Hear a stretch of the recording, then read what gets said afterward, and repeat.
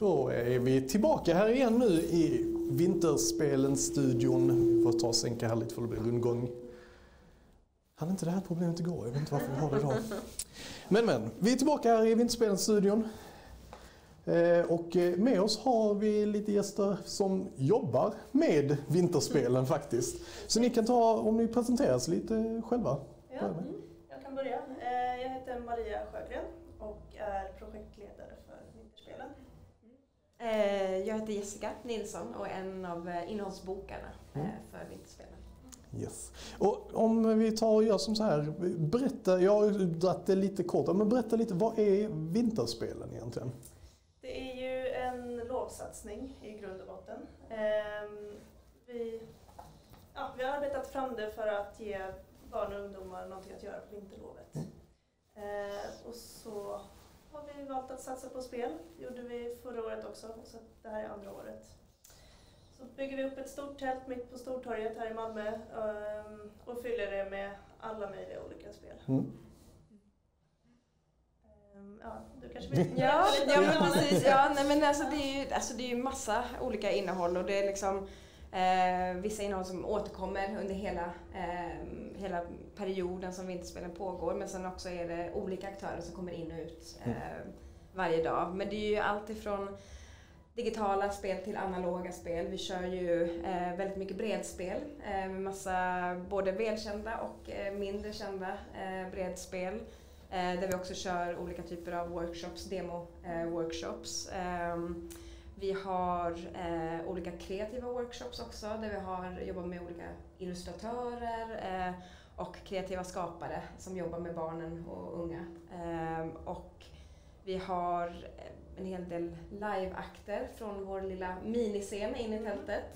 Eh, där vi kör Eh, bland annat så har vi kört 3D-skulptering. Eh, så man kan se liksom hur, eh, ja, men hur spel byggs upp från grunden helt enkelt. De Mm. olika världarna, karaktärerna och Precis. så Det var vidare. det vi gjorde igår här Ja, också, live det, faktiskt. precis, Det var väldigt, ja. väldigt roligt. Liksom. Ja. Körde lite Pictionary också. Ja, Ja. men det är riktigt, riktigt kul. Ehm, nej, men sen så har vi ju VR-spel, eh, vi har ju konsolspel, eh, vi kör ju mycket liksom PC-gaming, ehm, alltså tv-spel eh, och så vidare. Ehm, så det är, det är fullt ös Mm. hela tiden, verkligen. Och något av det mest populära är ju dansspelen. Ja, Mm. det är riktigt Ja. kul. Ja. Ja, men då kör vi ju, ja, men då är det ju Just Dance bland annat som vi kör. Eh, och så har vi en highscore-tävling eh, varje dag. Mm. Ehm, så, eh, så då kör vi det varje dag klockan fem. Ja. Eh, så, får vi, så den som eh, vinner dagens tävling får en liten goodiebag. Ja. Spännande. Eh, ja, det är riktigt kul. Eh, och vi har ju, jag vet inte, har du varit uppe och testat? Ja, jag gjorde det i morse det. Ja. Ja, Svårt första gången men sen andra gången jättekul. Ja. Så det, ja, Mm. ska jag göra igen. Ja. Mm. Nej, men sen så är det, alltså det är ju ett superkul arrangemang och det är så häftigt också att se det. Menar, nu har vi liksom jobbat under liksom en lång period liksom och, och byggt upp hela liksom programmet och innehållet liksom och strukturen för, för vinterspelen. Eh, och när man väl ser det live på plats, eh, då är det inte lika abstrakt Nej. längre. Nej, Eh, då blir det, då blir det ju på riktigt. Ja. Det är Mm. helt annat. Liksom. mm. Det är riktigt Ja, härligt. det Mm. det.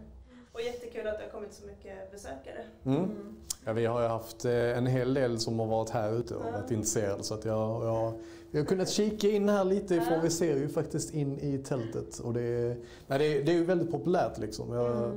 gissar väl på att just att det blir lite långledigt nu för de flesta Mm. liksom har Mm. bidragit oss till mycket folk som har kommit in här också. Så att, eh, ja, det var väldigt roligt att se. Ehm, ni, ni sa att det här var andra året. Är det någonting som ni hoppas eh, kommer fortsätta framöver också? Ja, det är ju ett väldigt kul Mm. arrangemang som Mm. sagt så att det hoppas vi. Mm. Jo men verkligen och det är ju men det var ju en stor succé förra året eh, och nu liksom ett år två så har vi liksom valt att bygga vidare på, på det konceptet fast liksom ja, men, eh, skruva åt det liksom, lite extra, eh, göra det lite, lite större, eh, ha ett liksom bredare, eh, ett bredare utbud men också mer liksom lokal fokus Mm. eh, på utbudet och så och innehållet. Eh, så ja absolut, Ja. det hade varit superkul att få, få göra, fortsätta att jobba med det. Klart.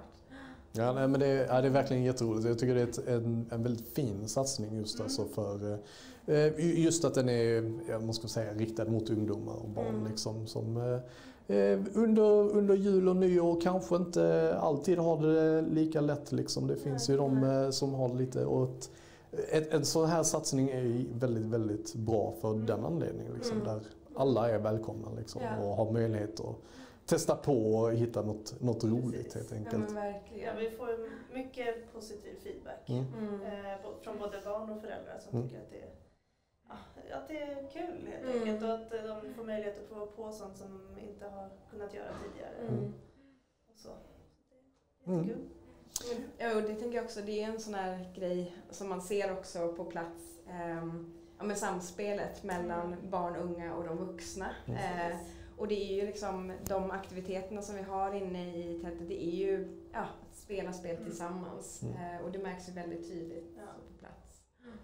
Och så har vi föräldrahörnan. Ja, det är lite Där eh, ja. föräldrarna roligt. kan få möjlighet att ja, bli instruerade i spelen som Mm. deras barn spelar. Så Det är- de kan det är jättebra. Ja. Mm, mm. Få lite mer förståelse Ja. för vad spel faktiskt är för Kan, någonting. kan inte släppa mitt i en match alltså och komma och äta Precis. ja, Det- precis. Mm. den eviga. Nej men det är ju jätte, jättebra faktiskt att det finns sådana möjligheter också så att säga. Så att, eh, nå- någonting för hela familjen helt Ja. enkelt finns där. Absolut. Verkligen. Verkligen. Ja, nej, men det är jätteroligt. Och är, är det någonting mer som ni känner att ni vill lyfta när det kommer till vinterspelen? Något sånt här?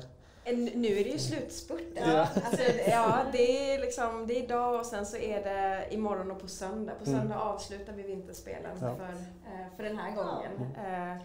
Mm. Ja, ja men precis. Så det är ju liksom bara att passa på och komma hit, Mm. verkligen. Ja. Eh, Ja. Och upplev det här och dela det med, liksom, med vänner, nära och kära.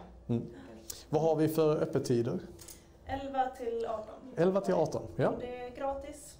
Mm. Bara Så att det är. Mm. verkligen bara att komma hit om ni har möjlighet, Mm. eh, får säga. Det, ja, nej, jag, jag sitter ju här inne och håller på så mycket liksom, men eh, att gå runt där bland VR och de andra spelen, alltså, man blir väldigt sugen liksom, Ja, att komma in. Så att, eh, har ni möjlighet så kom hit och testa, verkligen. Eh, vi eh, tar några avrundar där så ni har fått berätta lite. Så Jag tackar så jättemycket för att ni kom hit och berättade och fyllde ut lite här av tiden. Vi hade lite ändring i segmentet så att säga. Eh, Men eh, väldigt bra att vi faktiskt kunde få berätta lite om vad vinterspelen Ja, är också så att säga. Det är jättebra. Kul att få vara här. Ja, tack så jättemycket. Och eh, vi kommer ta en lite kort paus igen och sen kommer då Kia till. En av svenska streamersarna kommer vi köra lite vad heter det, indiespel faktiskt nu. Skapade av Malmö Studios. Det är lite det som är temat idag. Så det ska bli väldigt spännande. Så att häng kvar så är vi strax tillbaka igen.